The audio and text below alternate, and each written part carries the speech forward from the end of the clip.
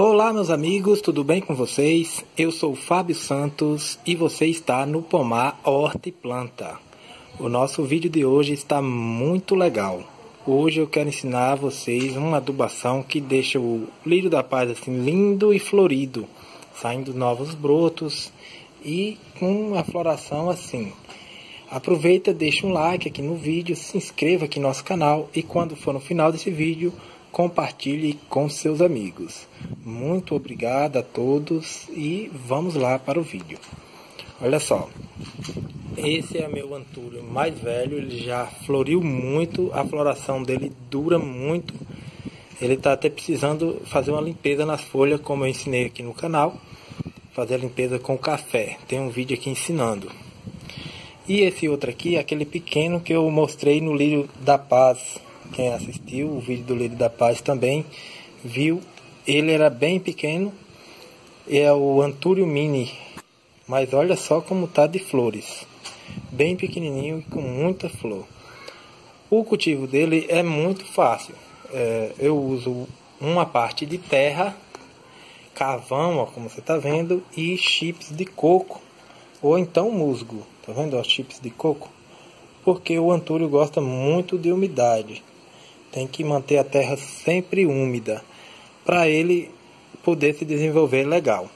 E a adubação que eu uso para esse, para o lírio da paz, eu uso somente essa torta de mamona que eu faço, eu mesmo faço, também tem um vídeo aqui no canal.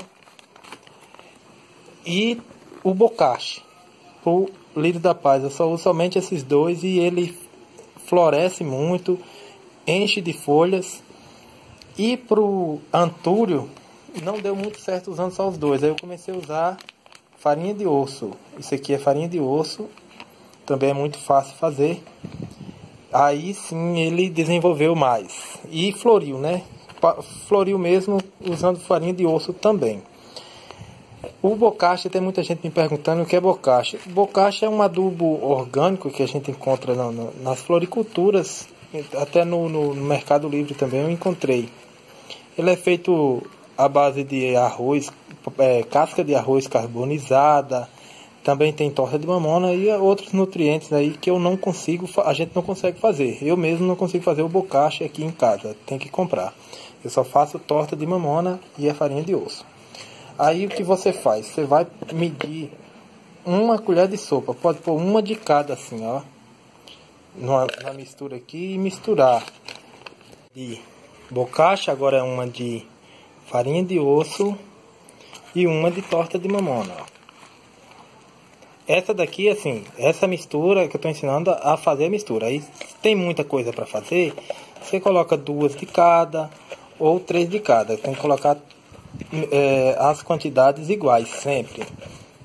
De, depois que você misturar bem, aí para um vaso como esse aqui grande, ó, tem que colocar duas colheres de sopa.